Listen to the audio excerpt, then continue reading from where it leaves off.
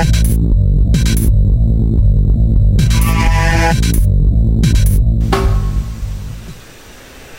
welcome to Flash for the Non-Geek and in today's lesson what we're going to do is I'm going to show you how to put a Flash header into your Blogger account. A lot of people have been asking me about it so I decided to uh, make a YouTube video. There's also a lesson at my website nongeekbooks.com and as you can see it's a fully functioning header and it works just like a normal uh, Flash header. Let me close this up. You can also turn the sound off. And if I scroll down here you can see that it's a brand new account. A couple flash files over here on the right. A little Twitter button. On the left you'll see my YouTube video and some text. And let me scroll up and I'll show you which template I picked for this exercise. I picked Minima. It's the uh, I believe it's the first template. So let's get this tutorial started. And I wanted to show you what it looks like when you first go on. So the first thing we're going to do um, is go up here to Edit HTML, click on Expand Widget Templates, and if you're working on an on an existing Blogger account, you can still do everything I, I'm explaining here, but you're going to have to download your full template first, because you know you don't want to mess up your your template. So let me uh, position this so it's looks better on the screen here. And what we want to do is we want to go into your HTML we want to look for max widget. So what I do in my browser is I type in max widget after I do control F for find. And my browser automatically finds it. It's right here so max widgets you'll see it equals 1 and show add element says no. So what you want to do is max widgets you want that to say 2 show add element you want that to say yes. There we go now you can see the save template go ahead and save it. Okay now we're going to go back to our layout by clicking on layout.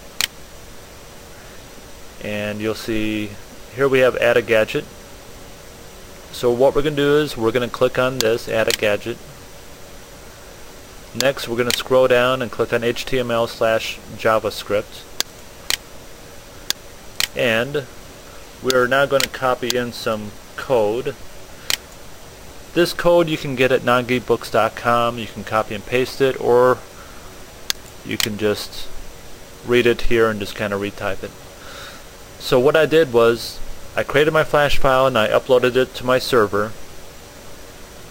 And when I uploaded it to my server I named it flashheader.swf so the actual address here would be nongeekbooks.com slash flashheader.swf and if you don't have a server that you can upload your flash file to uh, go to nongeekbooks.com and if you click on the add flash to blogger page, it has a link that'll take you to a page that has a lot of free servers where you can upload your flash file. And the width, these you'll have to change depending on the width and height of your flash file. So when you're done, go ahead go ahead and hit save. Okay, so that's done. And so let's preview it. So I'm going to hit preview and there it is. Now it's now it's on the web page but what you can't see is that the, the flash file isn't centered. So we're gonna have to do that. We're also gonna have to do a couple more tweaks. So next what we're gonna do is we're going to remove the nav bar get rid of that. So go back to edit HTML go back to expand widget templates and it's like two brackets and a little arrow. So you're going to be looking for these in your HTML. So what I do is I just go Control F and have my browser find it for me and here it is. So what we want to do is we want to click right before that and we want to copy and paste in some code and this code is available at nongeekbooks.com uh, go to the blogger section. So once you're done here, you can go to preview and you'll notice that the the nav bar is gone. Also, if you look real close, you can see some uh, border lines. We don't want those, and we also want the background to be black. So we're going to close this. Now we're going to get rid of the border lines, and here's how we do that. Okay, now the code we're looking for, I'm going to paste it in here real quick so you can see it. Pound sign header dash wrapper. So let me get rid of this. I'm going to do a control F search in my browser and there we go. Now where it says border, we want to change border to zero and then go down a couple and you'll see border again. Change that to zero. Now if we were to preview this again, the lines are now gone. So next thing we're going to do is we're going to save the template. We're going to go up here to fonts and colors, page background color, we're going to select black over here, save changes, and there we go. Now, here's our uh, blog, and you notice it's off center, so we need to center it. So we're going to do that next. So back in the layout mode, we're going to go to Edit HTML, click on Expand Widget Templates, now, we're going to scroll down until we see pound header, and I'm going to do a search for it on my browser. And there it is, pound header wrapper. Now, the width of my flash file is 991 pixels. So I'm going to change that now. You have to type in whatever number the width of your flash file is when you do this. And then I scroll down until I see outer wrapper Actually, it might be up here. Yeah, keep scrolling down, scrolling down. And there, there it is, outer wrapper. So now we need to change this to 991.